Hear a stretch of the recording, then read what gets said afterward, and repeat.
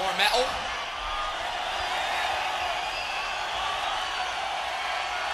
Lars Ulrich on the drums. Lars Ulrich still on the drums.